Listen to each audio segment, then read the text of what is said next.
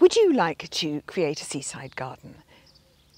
Well, I'm here in Whitstable on the Kent coast in southeast England, where once a year around the 10th of June, about a dozen private gardens open to the public.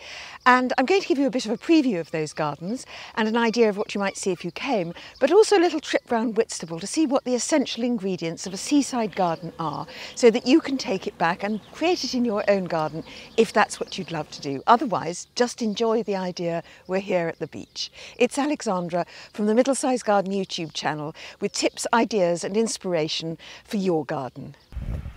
Firstly, think about echoing the architectural and natural elements of the seaside area you're inspired by. In Whitstable, this is black weatherboarded fishermen's huts, oyster shells, weathered oak from the breakwaters, seagulls, and big open skies. Look out for local brick, clay, and tile too, and think about whether yours is a brightly coloured seaside, such as the Caribbean, or maybe in a different way, Margate, or whether your sea tones are soft shades of green, grey, and gull's egg blue. Many of the historic cottages in Whitstable are painted white, and this is always a good beach garden colour.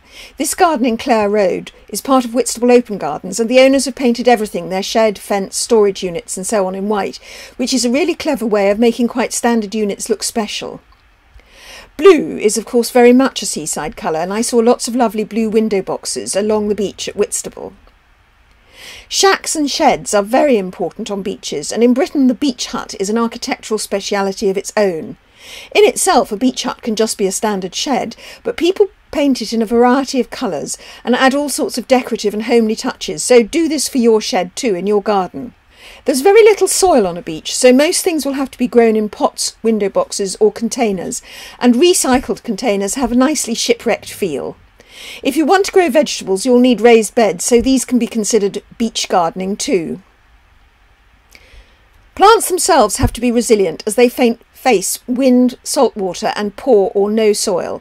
Look for wild versions of our garden flowers, such as wild mallow or wild salsify, and of course, erigeron are actually called seaside daisies in some parts of the world. Fennel, rosemary, grasses, and poppies do well too, and large leaved plants like crambe, and they all grow directly out of the shingle. You don't have beds in seaside gardens. And seaside gardens don't have lawn, although they may have clumps of grasses. Whitstable beaches are shingly with wild flowers growing straight out of the ground, and you can buy different shades of gravel for your beach garden, so do think about what look you want before ordering. Or you can buy shingle, or even cockle shells, which are a byproduct of the shellfish industry, so at least they're not mined. I've done a post and video about cockle shell paths, and there'll be a link to this in the description below. All sorts of things wash up on a shore, so create a beachcomber feel about your seaside garden with recycled and vintage items or souvenirs. Shells, netting, and anything you could have made yourself while idling on a hot day is also beach gardening. Seaside communities have often been poor, so there's a great sense of resourcefulness. Artists have also been very attracted to the light of the coast, so artistic quirkiness is another beach element. It's very seaside garden, for example, to use up scraps of brick, stone, or tile or sea glass, like these clever paths in a pretty garden in Whitstable. Stroll along the beach in Whitstable or in many other British seaside towns and you'll see a wonderful variety of beach gardens, usually with places to sit where you can watch the changing light and the sunset. Seaside garden furniture usually has to be put away in winter because of the weather, so it'll be collapsible or it will need to be cut from sturdy oak or rock.